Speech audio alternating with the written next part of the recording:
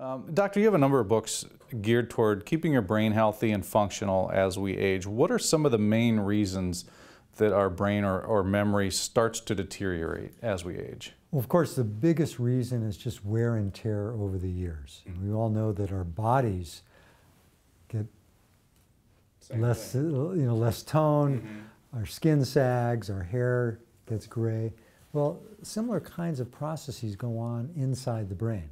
So our brains actually shrink with age, and the brain messengers, the neurotransmitters, don't function quite as well. So there's a lot of wear and tear, oxidative stress, increased inflammation, and we, we experience this by decline in memory.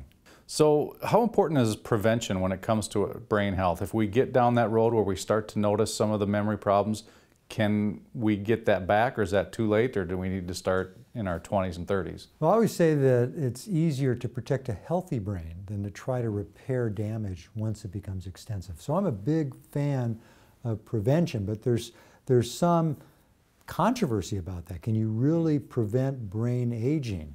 Well, if you think of it as a cure, then probably not. But if you think of it in terms of staving off problems, and I think the answer is probably yes. And there's a lot of scientific evidence showing that if you eat right, if you exercise both your body and your mind, and if you try to manage stress, you can delay the onset of cognitive decline for years.